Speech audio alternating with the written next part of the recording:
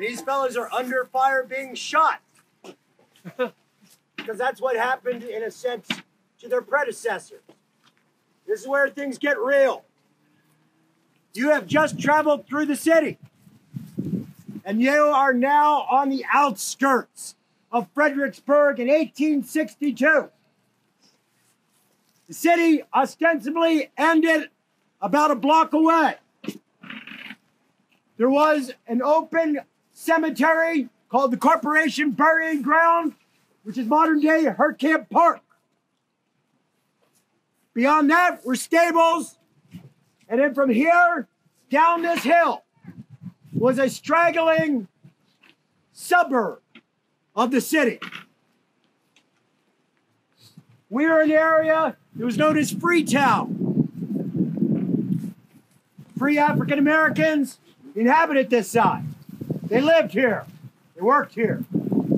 Down the hill, it was known as Sandy Bottom in 1862. For the Civil War soldiers, they're glad that the African American community lives here because their houses are the last buffer between us and the Confederates across a wide open field 900 yards away. This is your last hope of sanctuary.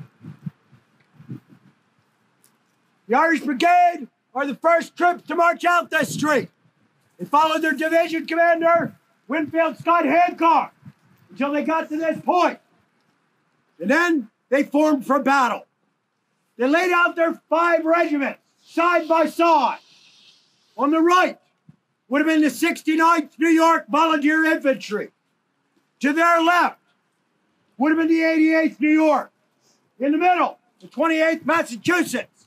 To their left, 63rd New York.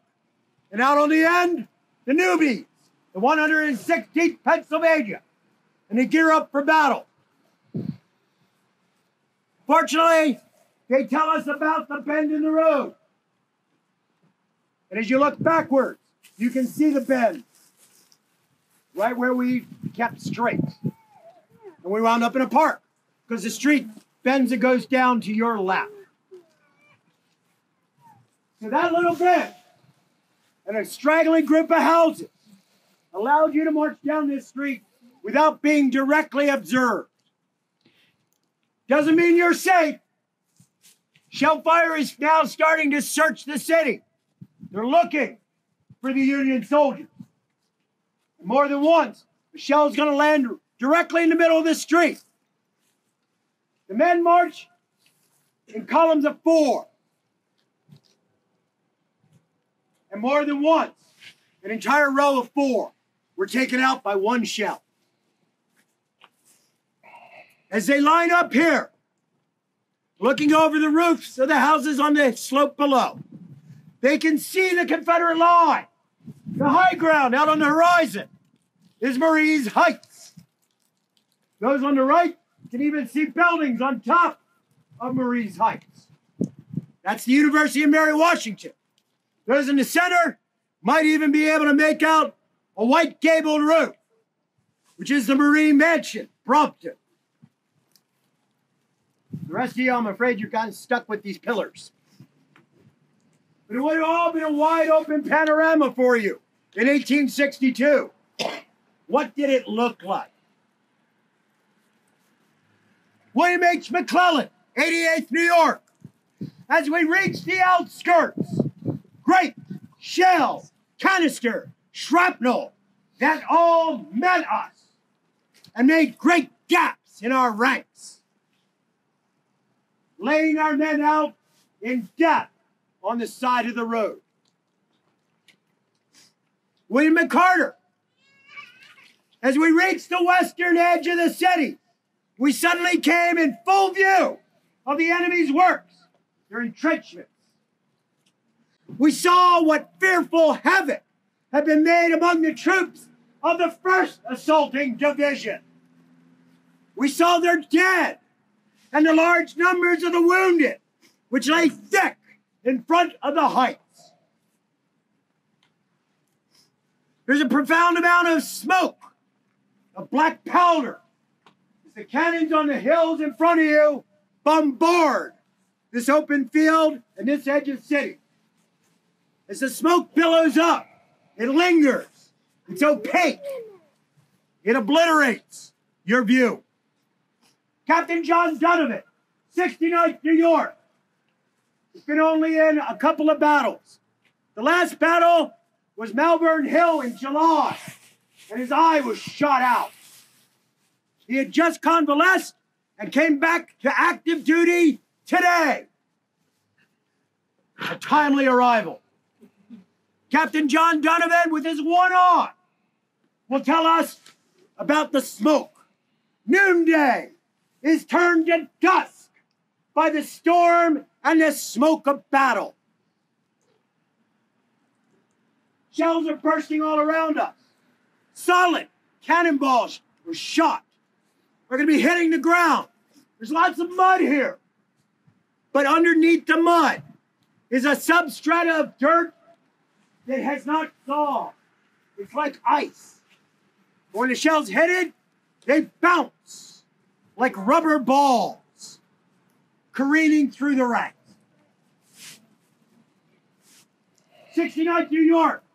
A private said the ground was frozen hard and cannonballs striking the rock like earth ricocheted with to all appearances increased vigor. Captain Patrick Condon, 63rd New York. The fire on us right here is galling and destructive. We stand here and men drop. There's nothing you can do about it. The generals are preparing to lead these men into battle. Nobody has ever led an attack out this street. We're going to be the first. And as the Irish Brigade gears up to do that, the 2nd Brigade under John Caldwell forms up behind them. The 5th New Hampshire is in their ranks. The 5th New Hampshire and the 69th New York have a love hate relationship. Half the time, they hate to love each other. The other rest of the time, they love to hate each other. They're forever doing bad things and pinning it on the other guy. The commander of the 5th New Hampshire is a man named Edward Cross. According to one of his friends, he's one of only four lawyers he ever met who was quiet. Cross looked at this field and despaired. He asked his servant to go take care of his locker and make sure that it got to his family after he was killed. It's only the 69th New York that doesn't despair looking at this field. Colonel Robert Nugent, commander of the 69th New York, is going to seek out dour old Colonel Cross and try to cheer him up. Tell him, so and so, Cross, so and so. But if you get to Richmond before I do, order me dinner at the Spotswood Hotel and I will dine with you. Just the sheer audacity that we're going to make it across this field and get to Richmond and have the finest dining in the city. Even Cross had to chuckle.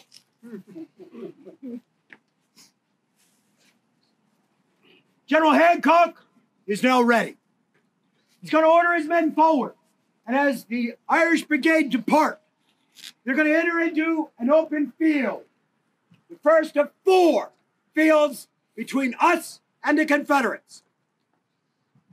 As they go, Hancock on horseback is going to ride down the slope with them. They will be under fire instantly, and men will start to drop. A lieutenant in the 116th Pennsylvania is going to be shot in the arm, in the leg, in the side, and in his lung, all at the same time. As he lay on the ground breathless, soldiers stopped and tried to pick him up, asking, Where are you wounded? And the only thing he could answer was, All over. He lived. Many didn't. General Hancock went down this hill with five staff officers. All five of them are going to have their horses shot. Three of the five staff officers are themselves going to get wounded. General Hancock almost was killed.